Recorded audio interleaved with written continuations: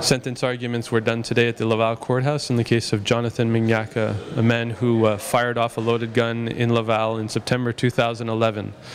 On that day, someone tried to kill Raynald Desjardins, a well-known organized crime figure, and uh, Jonathan Mignacca, an associate or uh, allegedly a bodyguard of, of Mr. Desjardins, uh, replied uh, with gunfire after the two were attacked.